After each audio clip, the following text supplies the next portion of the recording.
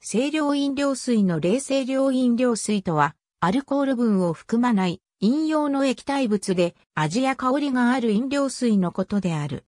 食品衛生法に基づく通知の第3の1では乳酸菌飲料、乳及び乳製品を除く主成分1容量パーセント未満を含有する飲料を言うものであること。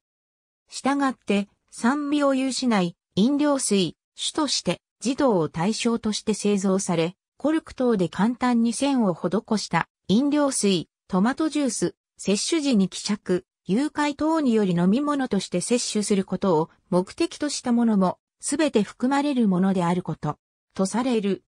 食品衛生放出技応答ハンドブックでは、トマトジュース、濃縮ジュース、凍結ジュース、ソーダ水、炭酸水、コーラ類、ジンジャエール、ミネラルウォーター、豆乳、辛な飲料等々およそ飲料はすべて清涼飲料水に該当すると例示される。一般的な意味では、水以外のソフトドリンク全般を指すが、通常以下のものは含めない。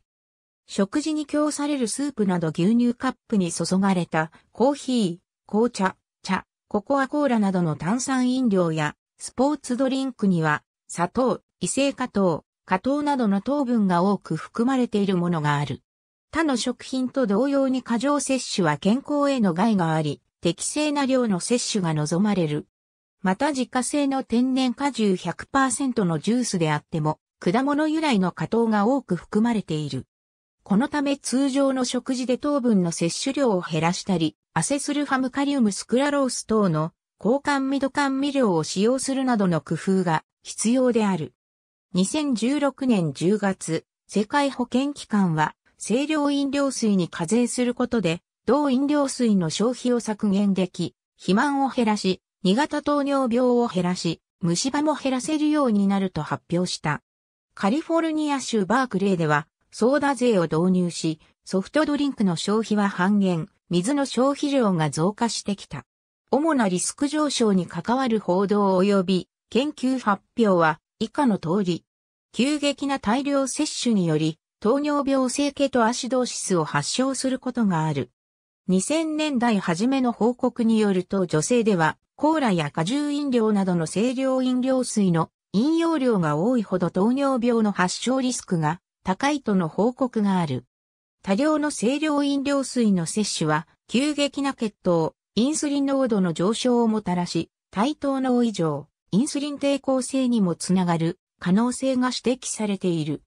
2001年ハーバード大学での研究は、ソフトドリンク1本ごとに、肥満の危険率が1.6倍になると報告した。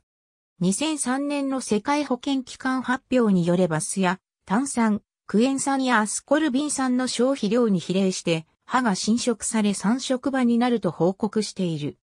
2003年健康日本21の発表では、甘味飲料の摂取頻度が多ければ虫歯のリスクを上げるので、特に砂糖が虫歯のリスクを高めるという知識を普及させ、摂取頻度を減らすことを国策として掲げている。砂糖の多いソフトドリンクは、FOO、FAO の2003年のレポートで肥満と虫歯が増加することとの関連が報告されている。2004年の厚生労働科学研究による診療ガイドラインによれば、砂糖の取りすぎはカルシウムの排泄量を増やす2011年の報道記事によれば、スイスチューリッヒ大学病院の M ホキュリ氏らにより、糖入り甘味飲料の常用により、心臓間動脈疾患リスクを高めることが報告されている。2011年研究者の未導による報告によれば、加糖された飲料を食事とともに摂取することの多い生活習慣の場合、結果的に摂取カロリーがオーバーし、肥満を誘発する要因となる。2019年の報道によると、ハーバード大学の研究者がアメリカの男女約12万人のデータを分析した結果では、砂糖の入った清涼飲料の消費が増えるほど、心臓疾患による死亡リスクが高まり、乳がんと大腸がんのリスクも少し高まったことが分かった。がんでは増加はなく、人工甘味料では1日4杯以上に限り、心臓疾患のリスクが高まった以下のような種類に分類される。ありがとうございます。